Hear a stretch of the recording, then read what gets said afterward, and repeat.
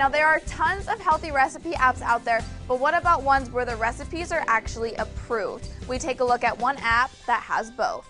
It's called Runtasty, and it's a way to eat some of your favorite meals with healthy ingredients. One thing that makes this app stand out is that all the recipes are approved by dietitians, so you know what you're eating is actually good for you. And there is plenty to choose from. The recipes are broken down by category. At the top, you can choose from things like dairy free, vegetarian, vegan, and you can mix categories so you can get recipes like high protein, low carb. You can narrow your search more by telling the app whether you're looking for food for breakfast, lunch, dinner, or even a snack. When you open a recipe, it comes with a video of instructions and tells you the nutrition content at the top and the nutrition facts per serving at the bottom.